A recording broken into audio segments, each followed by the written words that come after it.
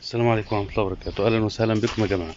إن شاء الله ابتداء من الجمعة الجاية هنبدأ نعمل دورة في أو سلسلة في القناة عن شرح آه، مجموعة كتب آه، الكنز إيميل فتح الله اللي هي أفكار التبريد والتكييف. إن شاء الله هناخدها كلها ونشرحها. زي ما تاخد معانا بقى. تاخد معانا سنة تاخد معانا شهر. المهم كل جمعة الساعة ستة هتلاقي فيديو.